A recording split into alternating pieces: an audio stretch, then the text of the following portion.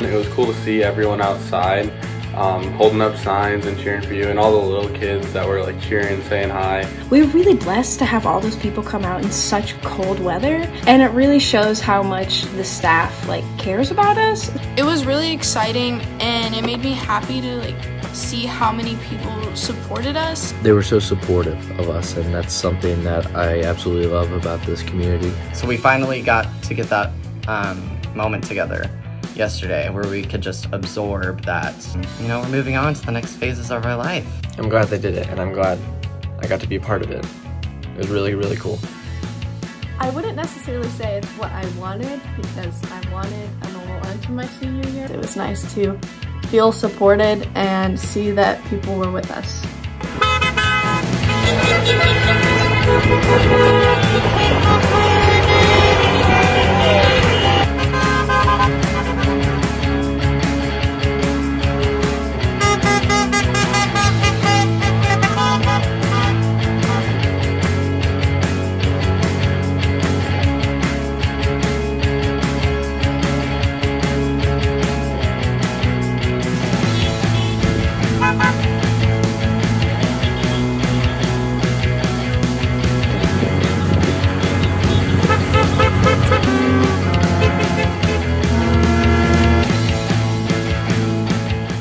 Provided a lot of closure for all of us, uh, not having the traditional ending to our year.